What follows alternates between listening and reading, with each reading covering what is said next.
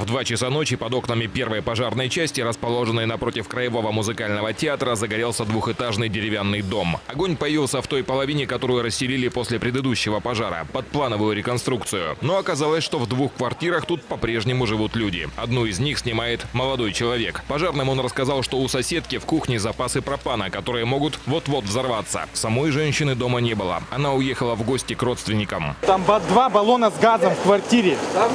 Соседний, дайте мне противогаз, быстро я сейчас все решу там. Все решить самому жильцу не разрешили пожарные, но дыхательную маску дали, чтобы он показал, в каком именно месте стоят взрывоопасные емкости. Эвакуированы были три газовых баллона. Огонь появился под крышей. Не исключено, что причиной ЧП стала неисправность электропроводки. От скачка напряжения заискрили провода под крышей и соседнего, стоящего за противопожарной стеной деревянного дома. Разбуженные шумом, жильцы вовремя отреагировали на опасность и самостоятельно залили тлеющие доски водой. Чтобы обесточить горячее горящий дом вызвали сотрудников энергослужбы. Но они отключили токоведущие кабели лишь спустя час после начала пожара. За это время площадь возгорания выросла с 40 до 150 квадратных метров. О ликвидации пожара спасатели сообщили диспетчеру лишь в пятом часу утра. С места происшествия Денис Коршунов, Евгения Куликова и Павел Рогатин.